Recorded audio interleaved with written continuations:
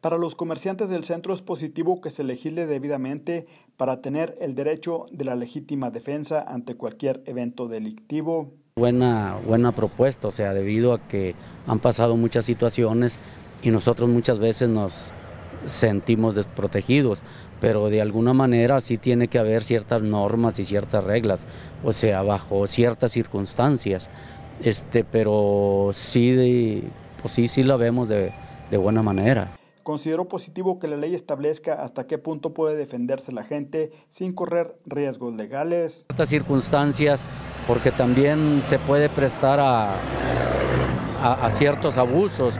O sea, la persona que tenga el arma debe tenerla registrada, debe tener capacitación, debe, debe tener, cumplir con ciertos reglamentos, no tener tampoco el arma a la vista, o sobre ciertas situaciones nada más, ¿verdad?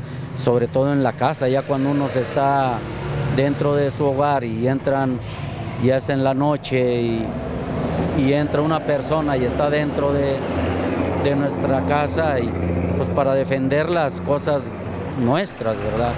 Y más que todo, no tanto las cosas materiales, sino la, la vida de nuestros hijos, de nuestras esposas, de nuestras familias. Con la cámara de Gerardo López para RCG informó Eduardo Sarabia.